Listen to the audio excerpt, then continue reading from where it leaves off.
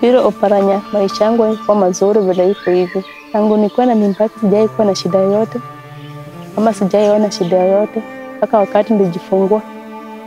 Wakati nilijifungua, nilijifungua vizuri, sikuwa na shida yoyote, wala wao kunilipisha malipo yoyote. Amenisaidia kwa vitu mingi, hata kununua nguo za mtoto, towels, vitu za baridi. Amenisaidia na kulisha mtoto.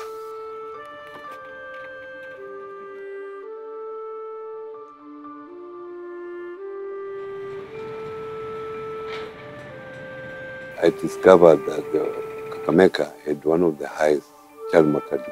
Nutrition was an issue. I saw that HIV was also a problem, and also we had very high population. So I sat down and said, how do I, do I address these issues? How do I integrate these issues and address them? And I knew poverty rate was very high at 56%. So money was a major motivator. And uh, that's why I came up with the, the 2,000 shillings.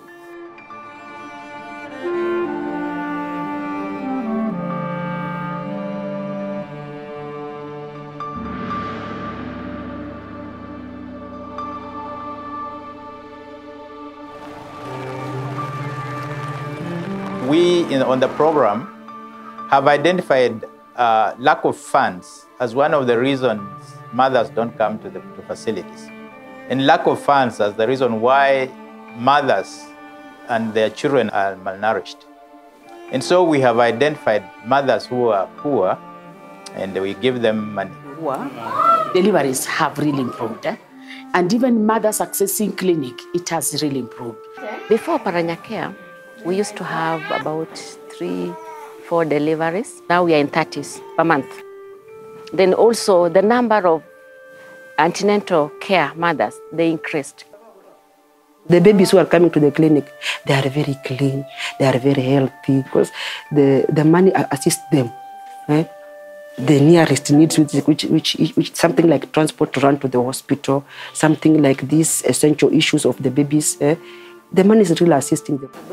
When I received that money, I didn't have food in my house, so I went and bought some milk, bought some flour.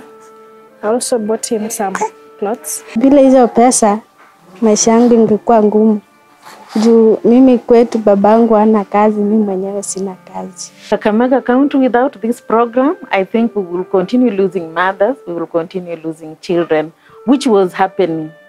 And uh, which now, because of this program, I think there is a light at the end of the tunnel. There is some hope somewhere. My hope in this Oparanyaka is that um, in, in many years to come, if, if it is well funded, then child mortality will be low, HIV will be nil, population growth will be, will be low, and in the end, people will have quality life.